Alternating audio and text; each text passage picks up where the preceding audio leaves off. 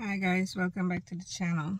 Guys, yesterday the Netherlands officially slipped into a recession. We know it was coming, but it's officially here. I didn't really want to leave my house today, but I had to show you this. Inflation is so incredibly high in this country. I don't know what we're gonna do. Let's go check out something in the grocery store. What's pissed me off even more is that we got some news coming out of Ukraine.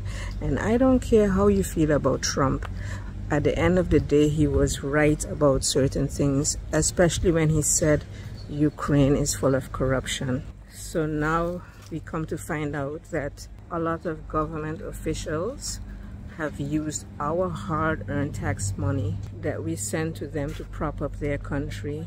They've been spending it and buying luxury homes in Spain and across Europe. While we are slipping into a recession, our prices are extremely high. Nobody can afford groceries. The electricity is extremely high. People have been living in the cold because they can't afford to pay their heat. And they all around Europe spending our money buying luxury homes.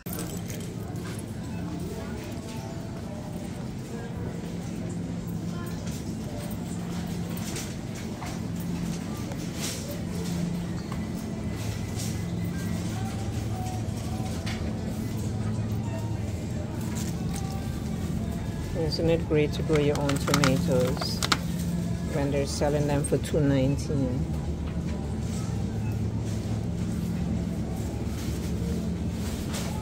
And cherry tomatoes, three euros. Just want to show you a few stuff, guys. Look at this. Three pieces of chicken. 12 euros and 99 cents. Three pieces of chicken. If you can grow your own stuff, guys, definitely try to grow your own stuff. This is literally four slices of ham in a pack for 368 I actually should take that into the manager and ask him why are four pieces of ham three euro something? So yeah guys i brought you along shopping with me to show you the extravagance of grocery shopping nowadays. I mean you uh, you can't make this up. A little pack of rice and meat 850 and yes, I know you can make it yourself, but the point is that is crazy prices. This is bacon, and it's having at about 10 slices, and it's 3 euros and 25 cents. Just regular things that people eat every day, and regular things that people want to eat. A little piece of meat I have just 0.6 kilos. It's 1275. 983 for 0.6 kilos. I mean, I can go through the whole store, but I'm just giving you some examples. A piece of cheese, guys. It looks like 10 slices. 5 euros 99 almost 6 euros. Four little patties. Look how big they are. Big like my finger. 4.99 and then they take them and make them even smaller. And they're still 4.99 so the bigger ones are 4.99 and I made them smaller still 4.99 another good reason to do your own canning is a bottle of tomato paste. Is 4.69 smaller bottle 3.69 so I'm gonna grab some of these because these are on sale.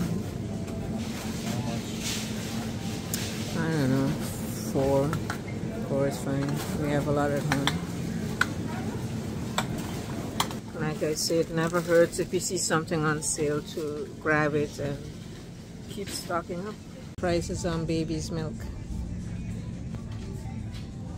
Almost 20, 20 euros for a carton. It's the spawn of my hand. So tiny. This is a different brand. 17 euros. So this is what we got.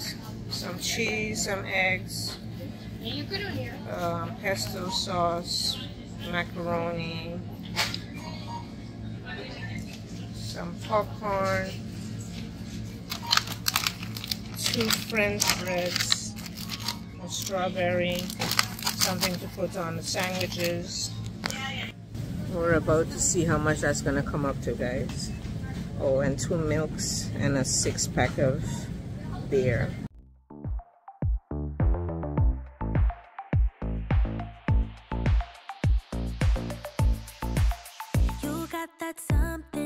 baby, that I can go without, just like a poison in me.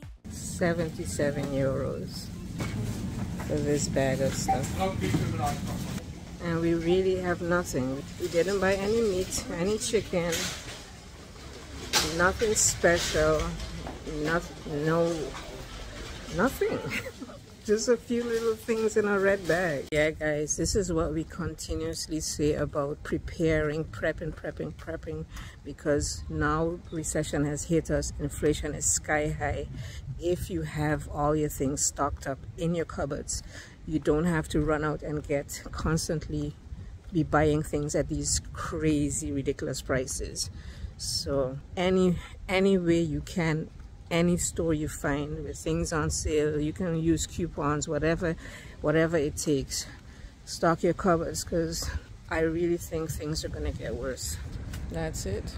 That little small bag 77 euros guys one more chore to do before we head home I told you guys Paris wasn't feeling well so we're taking her to the doctor again we have no idea what's going on with her I know it's really difficult it's difficult to imagine if you're not a prepper. Why do preppers prep? I'm 100% sure a lot of people laugh at you, laugh at me, and why do we do what we do? But I'm going to tell you, just, just keep on prepping because I really don't think it's to get any better. Like right now, I've been seeing so much people talk about losing their jobs, so much stores left and right are closing down and I really think the next big crisis is going to be unemployment. I think that's to be the next big crisis that people there are going to be a lot of people without jobs. I mean you can see it happening slowly. Even if you go into a simple place like McDonald's there are less servers there are less people behind the counter. They put automated things that you can put in your orders. Also by the pizza places the jobs that the least of us in our society need. Burger King, McDonald's, filling the shelves at the grocery stores. Even the banks, all banks are closing. You either have to do your things online or you just get an automated machine outside. Restaurants are letting people go. So like I say, the least among us are losing their jobs and I think that's going to be the next big explosion because if all those little stores in the high street are closing and and the common man has no more work can you imagine like I said in other like I said in other vlogs what the society is going to be what the society is going to come to there's going to be a big split people that have and people that don't have people that can afford homes that can afford to rent, that can afford to buy, that can afford to feed their families. I think that's the next big crisis. And I continue to say, be prepared, guys, because nothing, nothing is getting easier. This is getting worse and worse. And we are about to go into a serious, serious societal crisis. So cases here saying that even if even if people decide that you know we're gonna just eat peanut butter and bread tonight even peanut butter the prices are ex extravagant so he's saying on average because like you guys know I don't really do shopping but he's saying on average uh, peanut butter costs four or five four to five euros a big pot of peanut butter. So you can't even get away with saying I'm gonna skip a meal and gonna have some bread and peanut butter